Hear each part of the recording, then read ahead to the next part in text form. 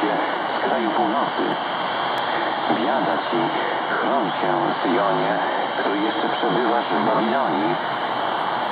Na północny wschód od Jerozolimy leżały wielkie miasta starożytne, Damaszek, Niniwa, Babilon. Tam rodziły się światowe mocarstwa, takie jak Asyria, Babilonia, Medopersja. Jak wiemy, północna część Izraela znalazła się pod okupacją Asyrii, a Jerozolima i cała południowa, judzka część kraju została zniewolona przez Imperium Babilońskie. Cały naród żydowski znalazł się w niewoli, w rozproszeniu. Bóg zapowiada, że Izraelici powrócą do ojczyzny. W czasie, gdy Zachariasz wypowiadał swe proroctwo, w Jerozolimie przebywało kilkadziesiąt tysięcy izraelskich repatriantów.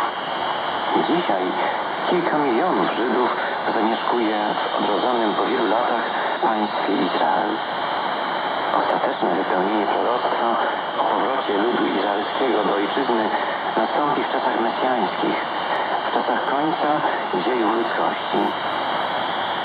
Jakże wiele jednak tragicznych doświadczeń i cierpień stało się udziałem biblijnego narodu wybranego. Od czasów proroka Zachariasza po dzień dzisiejszy